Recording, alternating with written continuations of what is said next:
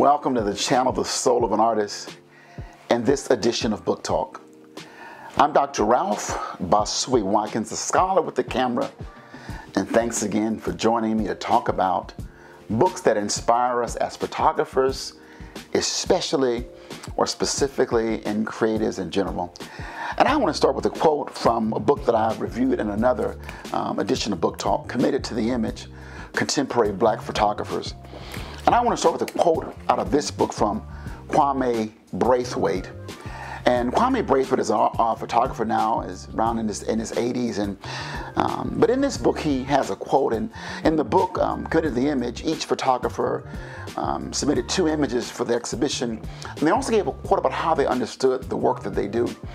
And I want to read this quote before I get to the book I'm going to actually review today or share with you. Listen to what Mr. Brathwaite said about how he understood that which he does as an African American photographer.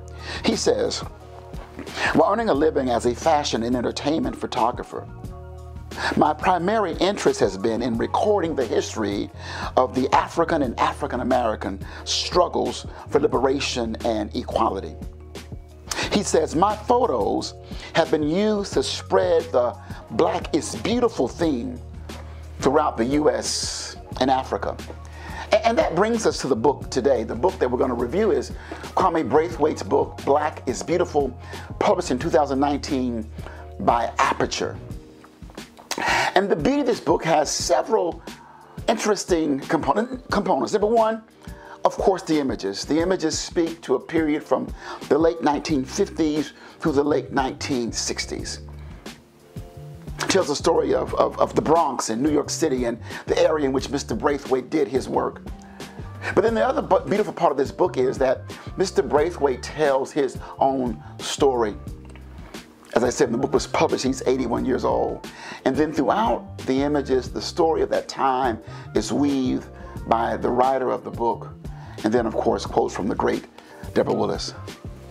Let, let, let, let me start once again by, by reading what Mr. Brathwaite says, because the preface of the book is written by Kwame Brathwaite himself. And listen to what he says.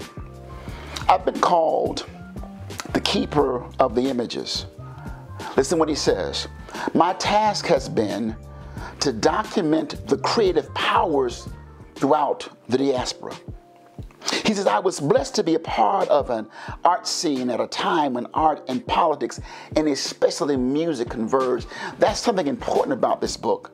He understood that the, there, was this, there was this convergence of art, politics, and music. As an artist, you don't do your art alone.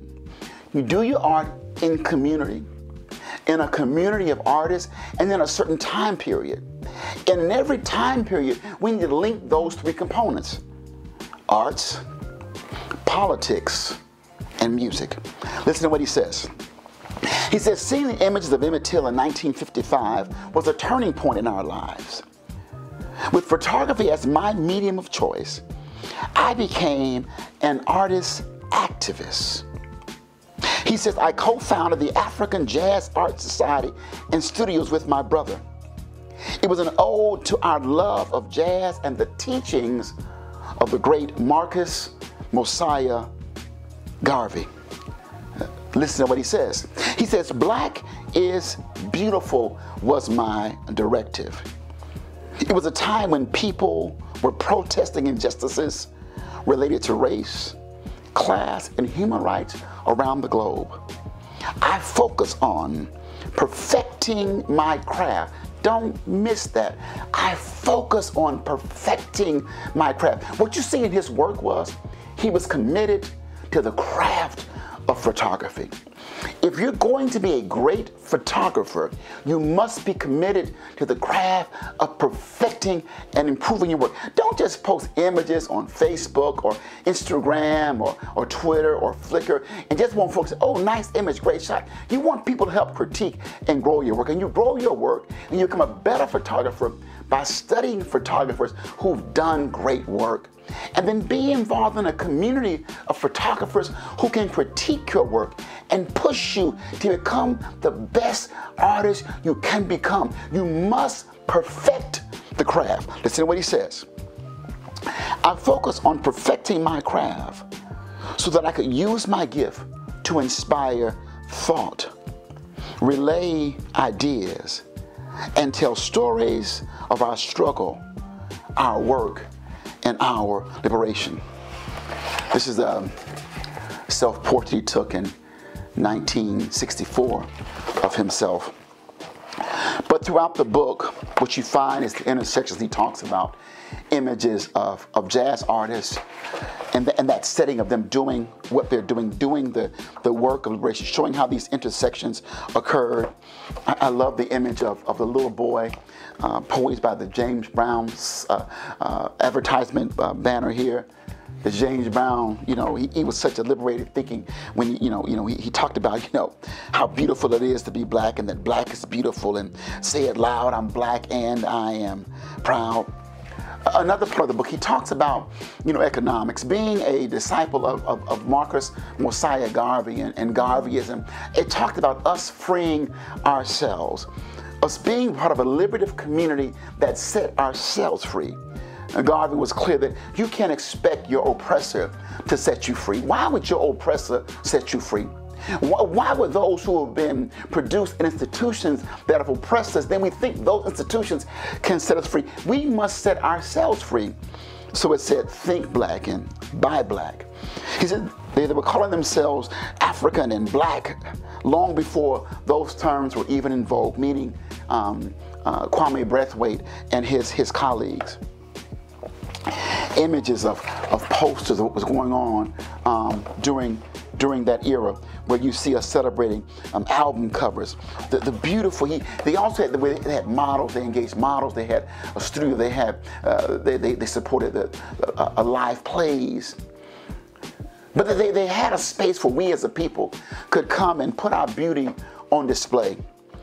And when you capture something in a, in a photograph, you're celebrating its beauty. You're saying it matters. It, you're saying, we see you. We see you, African American. You count. You're black. And you're bold. And you're beautiful. You think about this. We had to, we had to actually say, say it loud, I'm black and I'm proud, because we have been we have been taught that that we weren't going we, we shouldn't say it and we sure weren't proud. We had to say black is beautiful. And we still have to say it as we're still crying right now that Black Lives Matter. And this book and this work is a precursor to what we see happening in our culture today that Black Lives Matter. Let me read this quote from Deborah Willis, and then we're out of here. Deborah Willis says, the great historian of photography, the great photographer, the great Dr. Deborah Willis, Deborah Willis, she says, Black is beautiful then and now. Looking at Brathwaite's photographs today, helps the contemporary viewer imagine an explosive period of how it affected communities worldwide. Black is beautiful then, and black is beautiful now. Whatever age in which you live, you're called to celebrate that who we are. You're called to capture the images and tell the stories of your time in conversation with your community and other artists in your community that spans the arts. You were created by the Creator, the beautiful you that you are, to create that which is beautiful. Let me encourage you to go and create something beautiful. If something here has inspired you and you think it might bless others, please share the content. Please subscribe. We create videos each and every week just for you. We believe God's called us to teach, inspire, and mentor you. To do that which the Creator created you to create. I'm Dr. Ralph Basui Watkins, a scholar with a camera. And let me say it one more time before we end. Go. Go, my brother. Go, my sister. And create something beautiful. God bless. Thanks for watching. And I'm out. See ya.